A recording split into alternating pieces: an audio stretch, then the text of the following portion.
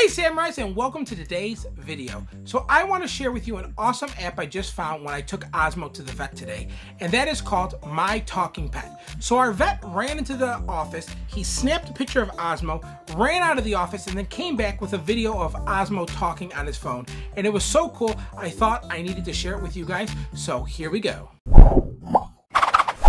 If you guys could do me a big favor before we start, make sure to hit that thumbs up button, share these videos with your friends. If you haven't already, make sure you're subscribed. And if you are subscribed, make sure you hit that little bell so you get all the notifications when we post new videos or go live. Also, make sure to follow us on Twitter, Facebook, Instagram, Snapchat, and LinkedIn so you can stay up to date with everything we're doing.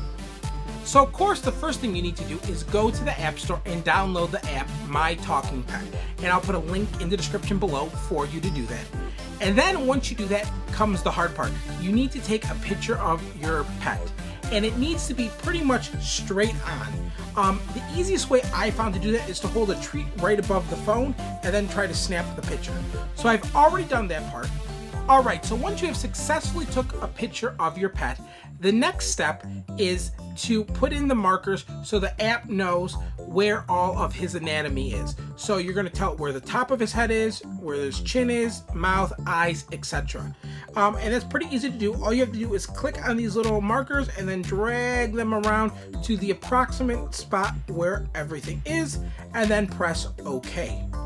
Now, once you press OK, you'll be prompted to uh, record what you want your pet to say. So I'm going to click record. Hey guys, go subscribe to my friend Sam's YouTube channel for more great videos like this. I can hit stop, and then I can also adjust his tone, how high or low I want the frequency of his voice to be. I can add things like glasses, mask, I can add hats, sombreros, if you guys want to preview the video, just click the play button and the video will start playing so you can make sure all your adjustments are correct. Hey guys, go subscribe to my friend Sam's YouTube channel for more great videos like this. Alright guys, once you're done making all your adjustments to your video, all you need to do is hit that share save button and then it's going to prompt you on where you want to share your video.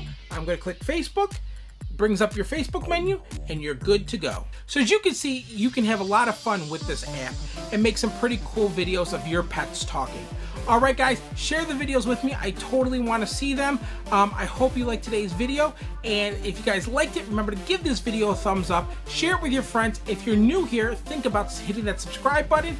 And until next time, guys, remember to dream big, think bigger, and always be you. Love you guys, and I'll see you next time.